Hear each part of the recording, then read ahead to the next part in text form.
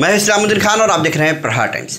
थाने से सटे भिमंडी शहर में आग लगने की घटना सामने आई है। आपको बता दें कि भिमंडी के रहनाल इलाके में भारत पेट्रोल पंप के पीछे शिव शक्ति कंपाउंड में केमिकल से भरे गोदाम में आग लगी है। भीषण आग लगने की ये घटना सामने आई है। घटनास्थल पर भिवंडी शहर से दमकल की तीन गाड़ियाँ मौके पर पहुँच चुकी हैं आग बुझाने के लिए और ठाणे और कल्याण से गाड़ियों को भी आग पर काबू पाने के लिए बुलाया गया है।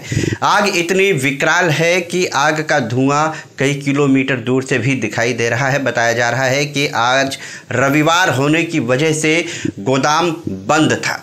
भिमंडी शहर यह इंडस्ट्रियल एरिया होने की वजह से अक्सर यहाँ पर आग लगने की घटनाएँ सामने आती हैं। किसी न किसी गोडाउन या फैक्ट्री में इसी तरह से भीषण आग की घटनाएँ होती रहती हैं। फ़िलहाल किस वजह से भिमंडी के केमिकल गोडाउन में यह आग लगी है, इसकी जानकारी अभी तक सामने नहीं आ पाई है। भिमंडी शहर दमकल विभाग और कल्याण दमकल विभाग की तरफ़ से आग पर काबू पा लिया गया है।